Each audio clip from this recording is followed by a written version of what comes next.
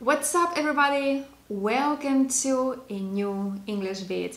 I'm Katia, and in today's lesson, we're going to focus on informal linkers that will help you enrich both your speech and writing.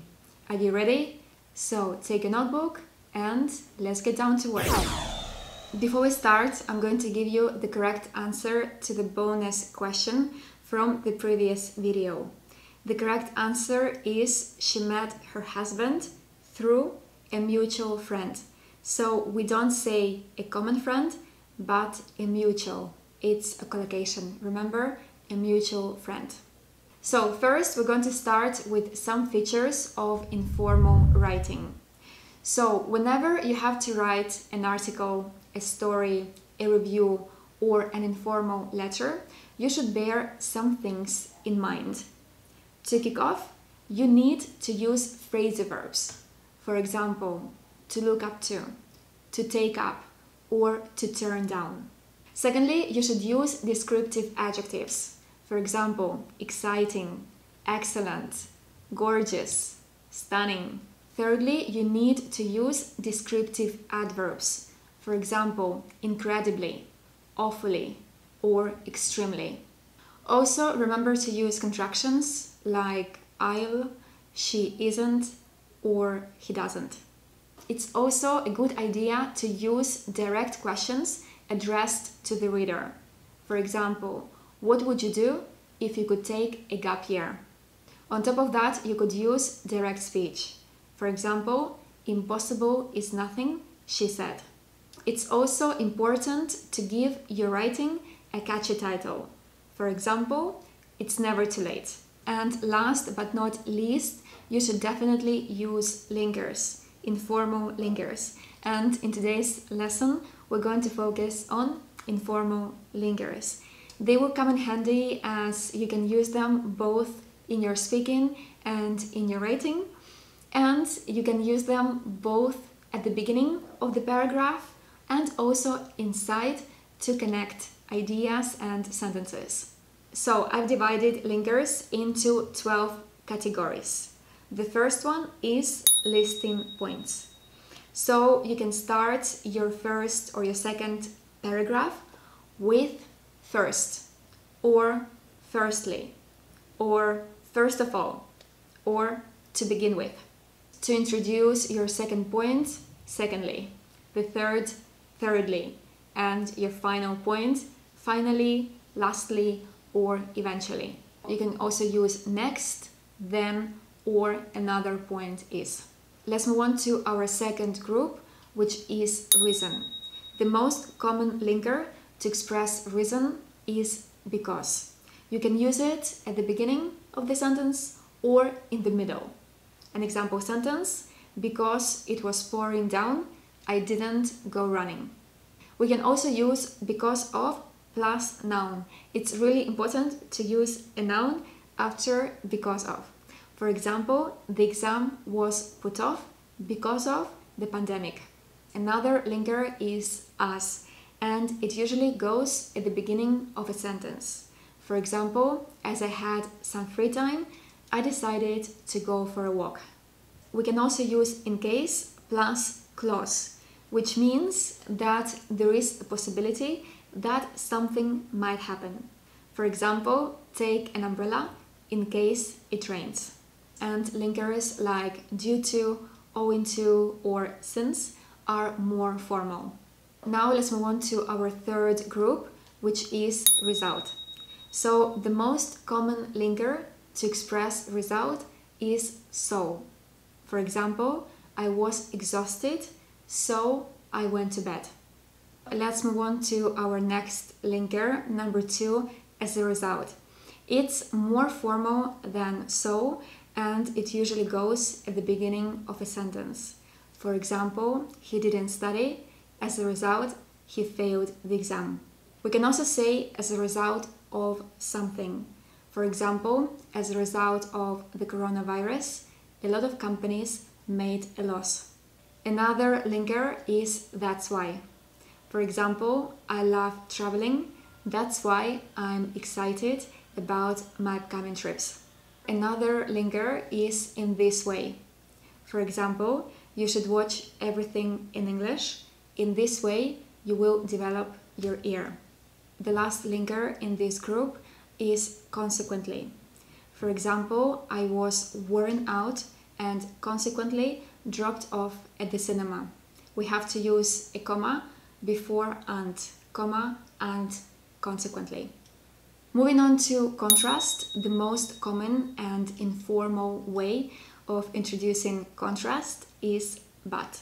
It can go in the middle of a sentence or at the beginning. For example, I sent her a letter but never got a reply. And one more example the dinner was quiet, but everything changed when he showed up. Number two, however, it goes at the beginning of a sentence. For example, I enjoyed the book, however, the movie didn't live up to my expectations. Next one, although. The stress goes at the end, although. It can go at the beginning of a sentence or in the middle. For example, although I was afraid, I went down the sand dune. And one more example, he speaks English fluently, although he has never lived in an English speaking country. Number four, even though. It's the same as although, but more emphatic. For example, even though it was raining, I went to the beach. Number five, the linker though. It can go in the middle or at the end of a sentence. For example, I had a good time though it rained. And we usually place though at the end of a sentence when it's informal language. For example, Valencia is a great city. It's rather hot in summer though. We can also use on the one hand and on the other hand. Imagine we're talking about advantages and disadvantages of social networks. We can say, on the one hand, you can find a lot of useful information. On the other hand, they can be rather addictive. We can also use while and whereas for example, in your speaking exam in part 2, when you compare and contrast two pictures, you can use these linkers, while and whereas. And the last linkers here are in spite of or despite, and they are followed by a noun or a gerund. For example, despite being sick, she went to work. And another example, despite the bad weather, we had a barbecue. And very important, if we want to use a clause after despite or in spite of, we have to add the fact that and then subject and verb. For example, in spite of the fact that I was injured, I finished the marathon. Let's move on to number five, purpose. There are a lot of different ways to express purpose in English. One of them is by using to. For example, I'm saving money to travel to New York. We can also use so or so that. So is more informal. For example, I put on sunscreen so that I don't get burned. And we must use so or so that when there is a change of subject in the result clause. For example, I gave him a lift so that he would get to the interview on time. And the linkers so as to and in order to are more formal. Moving on to number six, addition. My favorite here is on top of that. It sounds really good on top of that. We can also say in addition or what's more. We can also say another thing besides, plus, also, and.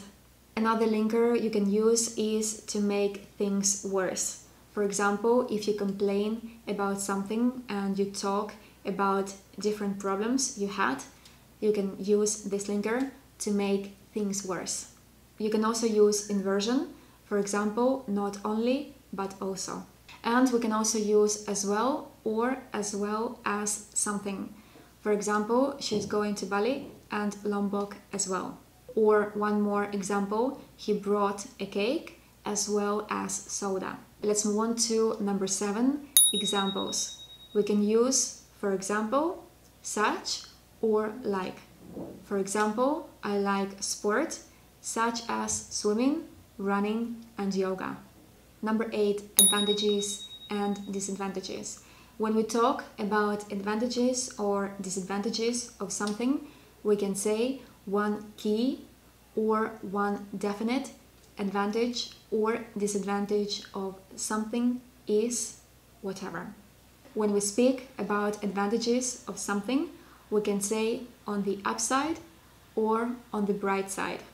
And we can also say another advantage or disadvantage or downside or drawback is. Number nine, being specific. We can use as for. For example, as for special effects, they were stunning. Another linker we can use is when it comes to. For example, when it comes to traveling, I enjoy going to exotic destinations. And one more linker, talking about. For example, talking about series, I enjoy watching comedy sitcoms. Number 10, attitude adverbs. They go at the beginning of a sentence, for example, apparently, obviously, worryingly, curiously, happily, sadly, naturally, personally, interestingly, unfortunately, or fortunately importantly, surprisingly, or not surprisingly, astonishingly, and the last one, funnily enough. Number 11, opinion. For example, it seems to me that, I believe, I think, more linkers, in my opinion, I reckon. This one is very informal, I reckon. We can also say personally speaking, honestly speaking, to me, I'd say, or as far as I'm concerned. And the last category is summarizing. For example, to sum up, in a nutshell, I like this one very much, in a nutshell, or to cut a long story short. So guys, that's it for today. I hope you found this English bit useful and it will help your writings be more engaging and appealing. If you did, don't forget to give this video a huge thumbs up, to subscribe to my channel and catch me on Instagram. With that being said, thanks for watching and see you next week.